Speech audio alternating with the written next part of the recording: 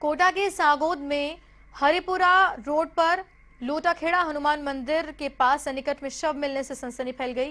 ग्रामीणों की सूचना पर पुलिस मौके पर पहुँची और मौका मुआयना किया। शव की शिनाख्त प्रशांत कॉलोनी निवासी दिनेश मेघवाल के रूप में हुई, जो सोमवार शाम छह बजे घर से निकला था, लेकिन देर रात तक घर नहीं लौटा, जिस पर परिजनों ने थाने में उसकी गुमशुदगी की रिपोर्ट दर्ज करवाई थी। फ़िलहाल पुलिस ने शव का पोस्टमार्टम करवाकर परिजनों को सौंप दिया है।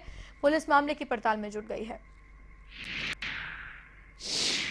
सन ऑफ़ श्री अजरा मेघवाल जो पेशे से शिक्षक है थर्ड ग्रेड श्रेणी के पद पर मंडिता में कार्यरत है। शाम को तय करीबन छः बजे के आसपास दैनिक दिनचर्या के हिसाब से वो हरिपुरा तालाब के लिए निकला था।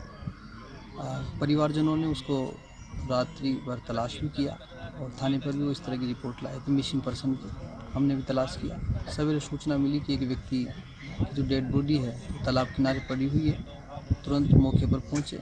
और यहाँ आकर देखा तो उसके कपड़े, उसके मोबाइल, उसका पर्स और पैसे मोटरसाइकिल सुरक्षित रखी हुई है। वो फ्रेश फ्रेश होने के लिए इधर गया, जैसे हाथ ज़िले के लिए वो आए। तो साइलेंट अटैक से उसकी मौत होना प्रारंभिक जानकारी में आया।